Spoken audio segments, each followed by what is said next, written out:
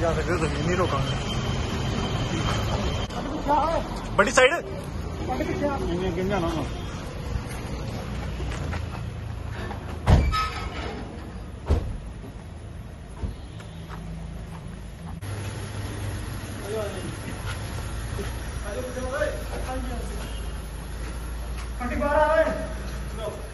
Thank you.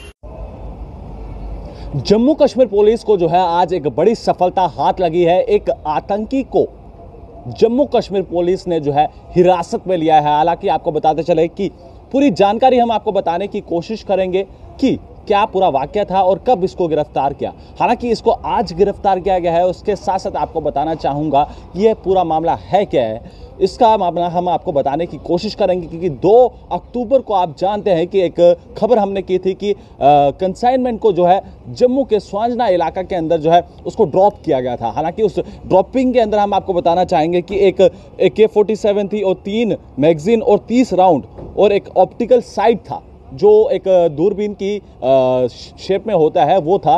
और इस consignment को ये आतंकी जो है रिसीव करने आ रहा था। हालाँकि इसका नाम क्या है, रहने वाला कहाँ का है, वो भी हम आपको बताने की कोशिश करेंगे। ये रहने वाला, मैं आपको बता दूँ कि वेरीनाग अनंतनाग का रहने वाला है और इसका नाम इरफान अहमद भट्ट है और सन्ना फारूक अहमद भट्ट।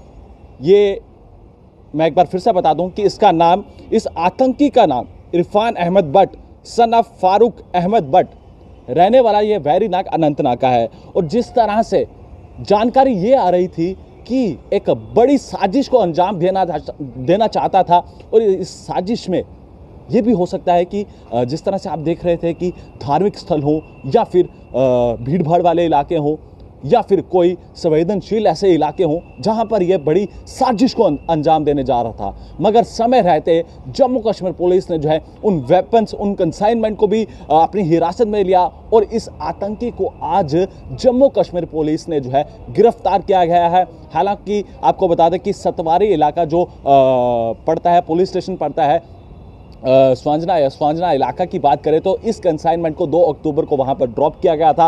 हालाँकि ड्रॉपिंग करने के बाद ये वहाँ पर रिसीव करना आना चाहता था। हालाँकि जब पुलिस ने इस कंसाइनमेंट को हिरासत में लिया, उसी के बाद ये काफ़ी दिनों से फरार चल रहा था। हालाँकि पूरी तरह से पुलिस इनके पीछे लगी हुई थी, इस आतंकी के पीछे लगी हुई थी, मगर अब ये बड़ी सफलता जो है जम्मू कश्मीर पुलिस को हाथ लगी है। ये बड़ी जानकारी जो थी, हम आप तक पहुँचाने की कोशिश कर रहे थे। तब तक के लिए आप बने रहे जेके ट्वेंटी फोर सेवन के लिए। कैमरा पर्सन दीपक कुमार के साथ जम्मू से धन्यवाद।